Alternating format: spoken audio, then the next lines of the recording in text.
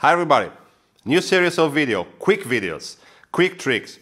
These tricks only work if your tremolo is set up to pull the G string three half steps. That way the second string will be pulled two half steps. The first string only one. And the fourth string, surprise, no, not four, only two. Just like the B string. And that's fantastic.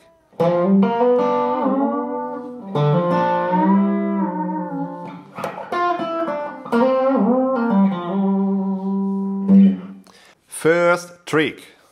It's called the parallel sixth because the interval I'm pulling is a sixth. In this case, the notes are the seventh and the fifth of the dominant chord. Check this out.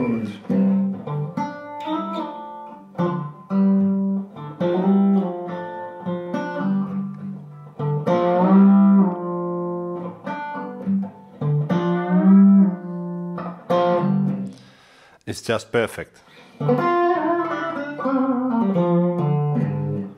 You can use it in another situation, for example here in a minor Dorian kind of Latin rock stuff like uh,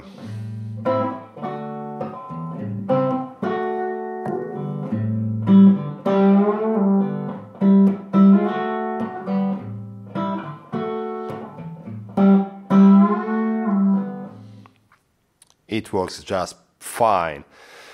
And since the trick is so easy, you're only pulling the two strings a whole step. You can use it, for example, here in a, here in minor blues. Uh, we go subdominant.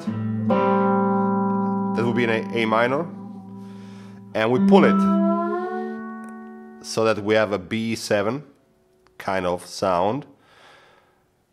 And again.